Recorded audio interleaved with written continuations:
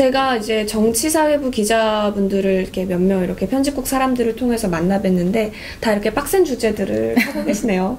기자님 안 어려워. 빡세시죠? 어려워요. 어려워요. 하지만 쉽게 알려주셨기 때문에 오늘도 네. 많은 도움이 되었습니다. 네, 편집국 사람들. 오늘은 김앤장 압수수색 이슈에 대해서 이야기 나눠보실 텐데요. 그 전에 이 시각 주요 뉴스 먼저 살펴보시고 돌아오시죠. 가계의 주 소득원인 30에서 54세 남성들의 경제활동 참가율이 갈수록 떨어지는 것으로 나타났습니다. 북미 비핵화 협상이 진퇴의 기로에 선 가운데 판문점에서 북미 간의 마쿠 대화 채널이 가동되고 있는 것으로 확인되고 있습니다. 올해 3분기 한국 경제 성장률이 0.6%로 잠정 집계되며 2분기에 이어 0%대 중반 성장세를 이어갔습니다. 네, 안녕하세요. 편집국 사람들 아나운서 이화선입니다. 오늘 같은 경우는요, 김앤장 압수수색 뉴스가 있었기 때문에 정치사회부의 한정 기자님과 함께 이야기 나눠보겠습니다. 안녕하세요. 안녕하세요. 네. 소개 한번 해주시죠.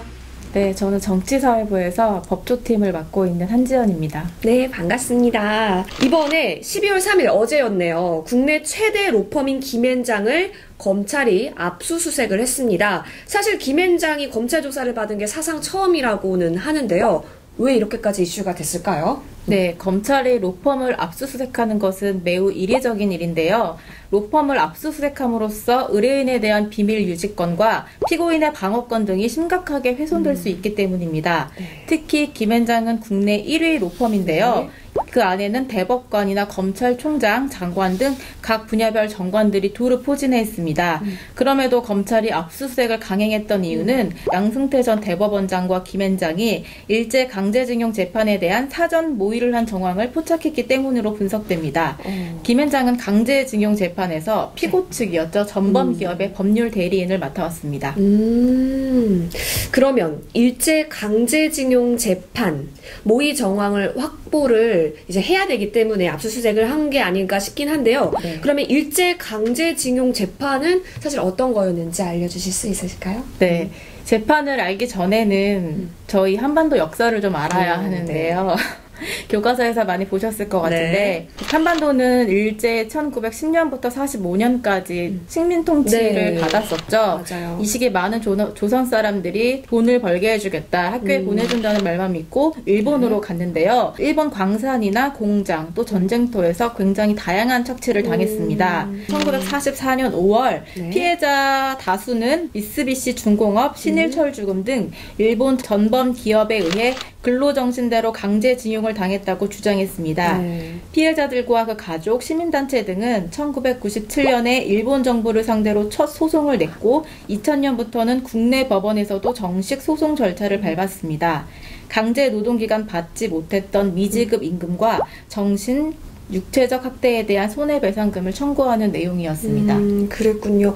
역사까지 이렇게 소개를 해주시니 어, 고등학교 3학년이 된 기분이었는데요. 이제 잘 배웠습니다. 그러면 이때 이 이후에는 쭉 제가 알기로는 한국과 일본에서 동시에 소송이 진행되는데 그때마다 줄줄이 패소를 했던 네. 걸로 알고 있습니다. 왜냐하면 주, 주된 논리는 이미 그 한일 청구권 협정으로 피해자들의 청구권이 소멸됐다. 네. 아, 이게 주 논리였는데 그럼 2012년 양승태 사법부 시절에는 어떤 판결이었기 때문일까요? 음? 네, 말씀하신 대로 소송은 한국과 일본에서 동시에 진행됐는데요. 모두 다 패소했습니다. 네. 그러다가 대법원까지 흘러 들어간 게 2012년이었는데요. 네. 이때 대법원이 원심을 파기환송했습니다. 음. 한일협정 내 청구권 적용 대상에는 피해자의 위자료 청구권은 포함되지 않는다면서 피해자에게 1억 원을 지급하는 게 맞다고 판단했습니다. 음. 그리고 지난달 30일이었죠. 네. 대법원이 다시 한번 이거와 음. 관련된 판결을 내놨는데요. 네. 미쓰비시 중공업을 상대로 청구한 손해배상 소송에서 강제징용에 동원된 피해자들에게 미쓰비시가 손해배상을 하는 게 맞다고 판결했습니다. 결국에 재산고심 사건을 약 네. 6년간 끌어오면서 아무런 결론을 내놓지 못하다가 사법농단 의혹이 제기된 지 음. 3개월 만에 관련 판결을 두 개, 두 개나 연달아 내놓으면서 네. 일본 기업의 배상 책임을 명확히 한 셈입니다. 네, 네. 사이다가 뚫린 건가요? 그렇죠. 네. 피해자 입장에서는. 그렇죠. 자, 그러면 양승태 사법부 시절에 재판 거래가 있었다라는 얘기인데 김현장과는 어떤 관련성이 있는 걸까요? 그러면 네, 앞에서 말씀드렸듯이 김앤장이 일본 전범 기업의 법률 네. 대리를 맡아왔다고 했는데요. 음. 김앤장은 강제징용 재판 대법원 심리를 앞두고 일본 전범 기업들의 법률 대리를 내놓는 주장을 많이 내놨습니다. 음. 검찰이 김앤장을 압수수색한 배경에는 전원합의체 해고된 지 6년이나 지지분진했던 결론이 이렇게 사이다처럼 결론난 배경에는 법원 행정처와의 결탁이 있었다고 추측하고 있습니다. 검찰은 김앤장과 법원 행정처가 말을 맞춘 뒤 네. 청와대까지 공조해서 대법원 전원합의체 회부 뒤 파기라는 시나리오를 구상한 것으로 보고 있습니다.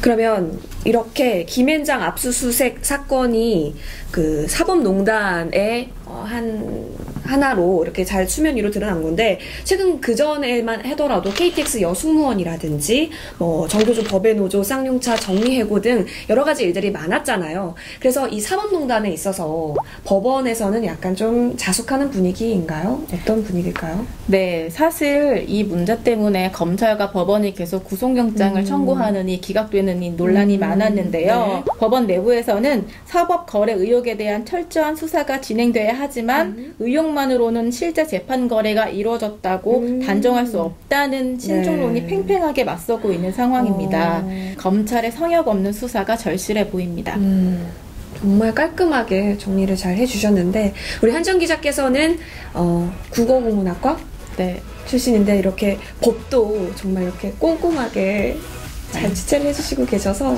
오늘 많은 도움이 된 것 같습니다. 또 다른 거는 어떤 거 취재하고 계세요 요즘? 요즘 저는 주로 경제 법률을 맡고 있기 때문에 음. 뭐 통상임 아까 말씀하셨던 쌍용차 해고라든지 아니면 통상임금 관련 소송이라든지 요즘은 그런 것들 맡고 있습니다. 네, 그러면 다음 당직 때도 또 다양하게 취재하고 계시는 부분들 많이 이야기 나눠주시면 좋을 것 같습니다. 네, 함께 해주셔서 고맙습니다.